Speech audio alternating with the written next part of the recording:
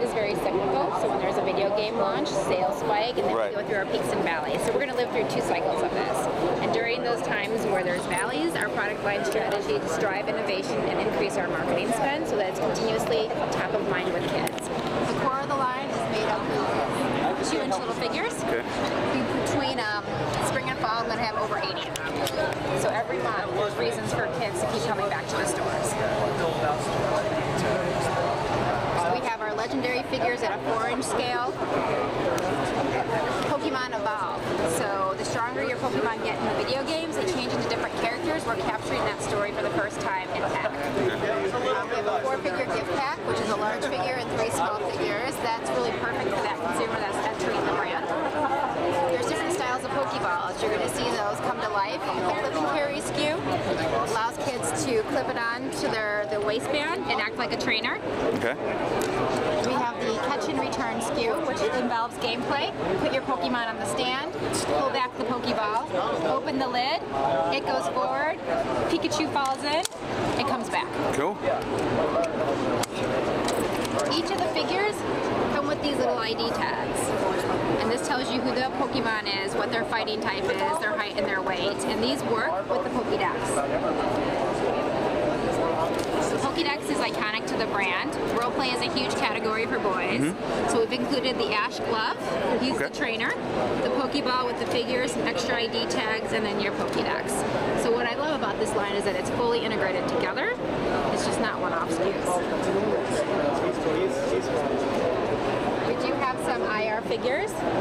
So how does it's uh, infrared with a controller? Is it remote control? Yes. Follows it around. IR, and we turn it on. Rather rather swift. Yeah. And then the Pi- Pikachu format, when you go forward, he actually goes down on all fours into his attack pose. Pikachu is going to be popular. Yeah. We have um, some 7-inch vinyl figures that have articulation in the legs. Yes, that's very good. I like um, those. We've got a storage case where you can house up to 20 of your Oh, characters. It has a battle arena, and since Pokemon don't die, we have a little healing center there. So it's a multi-purpose storage case for on-the-go play. We have our 12-inch feature figures. So Wow. these are motion activated. So they change based on the motion. If you're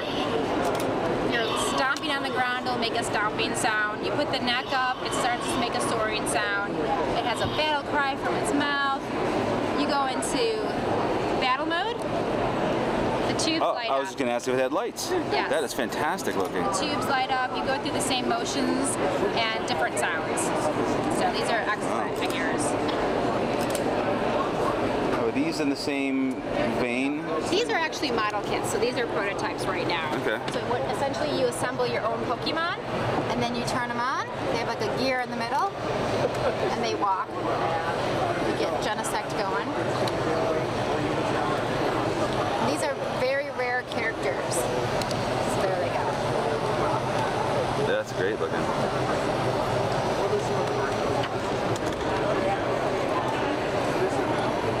We have our key TV driver item. That's this. This is the Energy Battle Arena. So, Pokemon is all about catching and training and battling. And of course, you're dealing with five to nine year olds, so anything they're going to battle with. Mm-hmm. We've captured that battle within this arena. It has a four color LED display, so it has lights and sounds to really bring that battle to life. Two modes of play Nice. quick play mode, which are for people that aren't that familiar with Pokemon, and then battle play mode. So if you really know your Pokemon and their different fighting types, and you know that dragon's gonna do better than grass, that's the mode for you. But essentially, it's a, the quick play is a game of tug of war. So you're gonna be attacking, and I'm gonna be defending, and vice versa. So I missed that attack and didn't defend properly, so I lost. Now it's my turn to attack Pikachu. You're gonna build your energy level up. I'm going to attack and I'm going to defend. Oh, okay. So it's tug of war. And I defended at the right time. It's all about your timing of attacks and defenses. Will these work with the regular collector figures? Absolutely. Okay, and how does it know which one you have? Is it based on the cards? Yes. Okay. So when you go to battle play mode, it's going to cycle through all your different fighting attacks. So when you put Scraggy down, you know that he's, I don't know what he is. Dark fighting. So you'll choose that icon. Okay. And then these are modular because all Pokemon are different sizes, so this allows you to snap them into place. Very cool. Most excited about this item is that when Pokemon X and Y, the video game, is launched in October, we're going to release this item with XY. Oh, all right. Very nice. So, and then plush is the number two selling segment for the brand. So we have three and a half inch keychain plushes, our eight inch plush, our 18 inch novelty plush, and transforming Pokeball plush, which is like two in one.